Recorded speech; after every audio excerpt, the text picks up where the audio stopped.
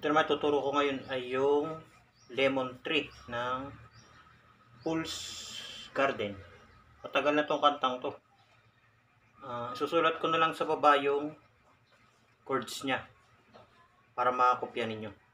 Tuturo ko sa mga pang beginner, sa mga hindi pa marunong mag-strumming kung paano strum itong kantang ito. Meron siyang kapo sa first fret. Ang chords niya ay E, B minor, E minor, B minor, B flat minor, A minor. So, ganun siya. Tapos yung, kagaya ng mga sinasabi ko palagi, isang chord, isang strumming pattern. Bali yung pattern niya, ito yung tinatawag kong kamot technique. Kaya kamot technique, bawat isang string may isang daliring nakalagay. O bawat isang daliri may isang string na tutugtugin o yung pipitikin o yung kakalmutin. Ganun siya. E minor. Parang ang, ang tunog niya ganun.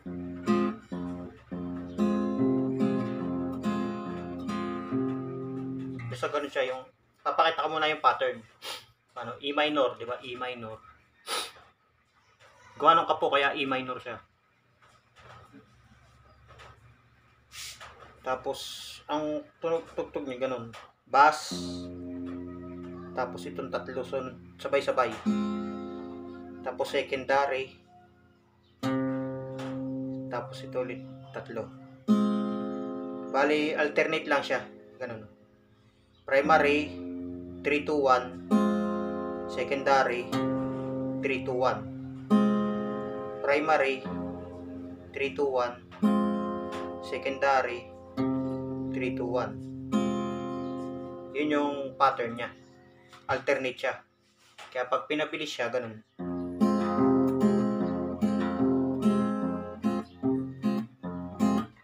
I-mute mo siya o kumbaga may para na post-post yung tunog niya.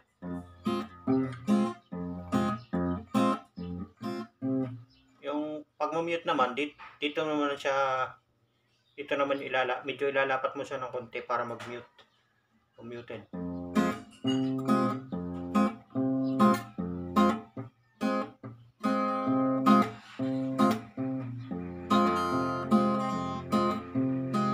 ganun. Tapos yung B minor niya, di B minor.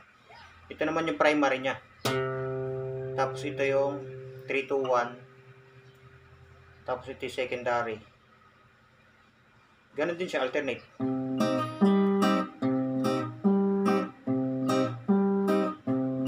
Pwedeng gawin nyo, i-mute nyo dito. Para hindi nyo na po problemahin yung pag-mute dito sa kanang kamay. Ang pag-mute naman dito, ang technique, pag plakang ganon, medyo iangat mo ng konti para mag, ano siya. Yan. Yan.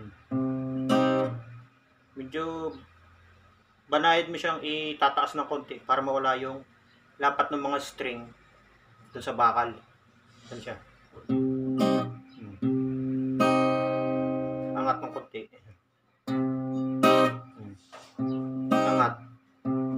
Angat. Ganun. Kaya ganun siya.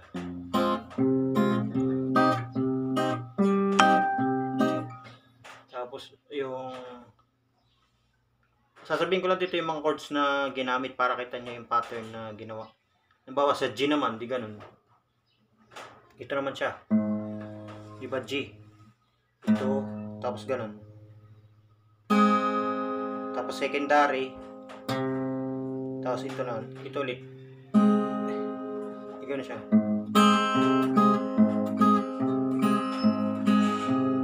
Pwede yung G na ganito din.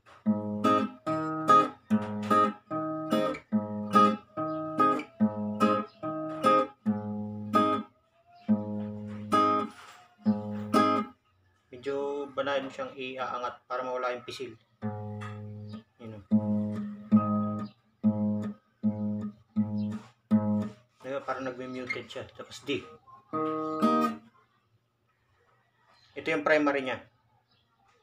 Tapos tatlo. Primary.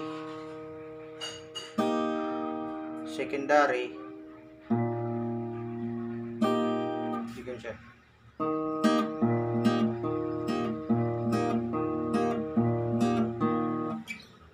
Medyo kakantahan natin ng konti para makuha niyo yung sinasabi ko.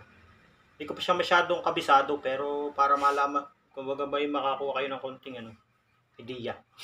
Bawa to. I'm sitting here in a boring room. It's just another rainy Sunday afternoon. Wasting my time, I got nothing to do. Parang ganun siya. I'm hanging around,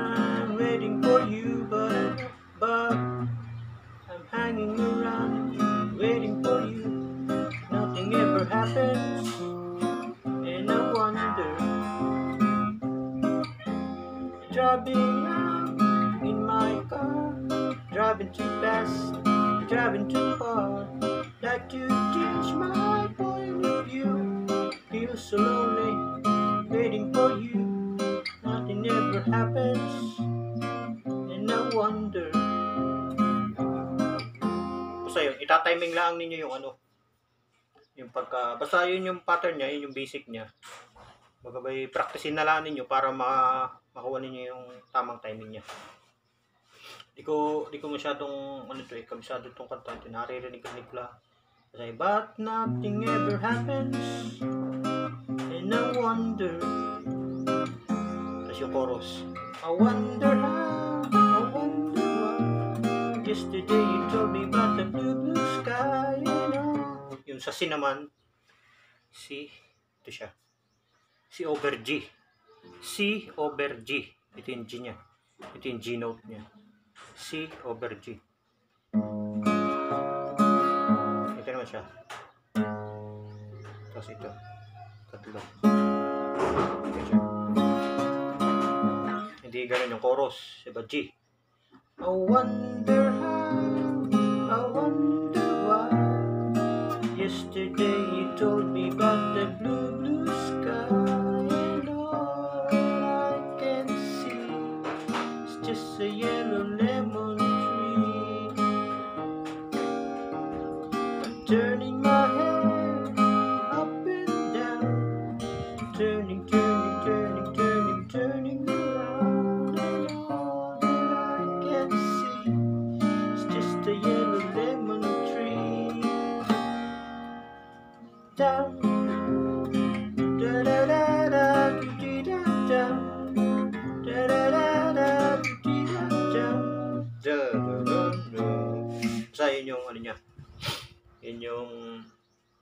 paano tugtugin.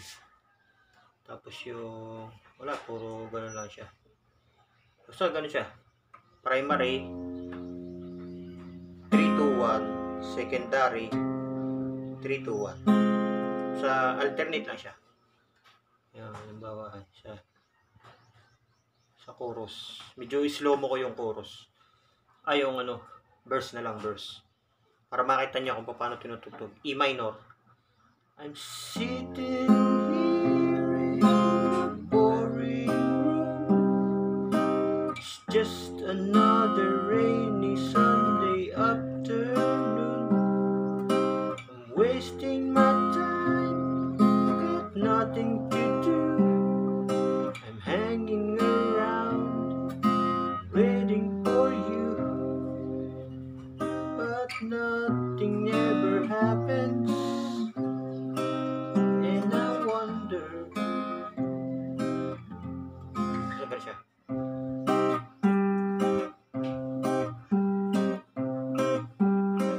Ganun siya pag pinablis. Pansin niyo yung daliri ko na ganun-ganon. Ano, medyo inaangat-angat ko siya para mag-muted. Ganun lang siya. Tapos, wala, ulit-ulit na lang siya. Basta ganun yung pattern niya. Hmm, halimbawa sa sa chorus. Yan, chorus. I wonder primary. I wonder secondary. Primary secondary. Primary secondary. Kaya pag tinugtong siya. I wonder how I wonder why. Yes yung E minor. Yesterday you told me about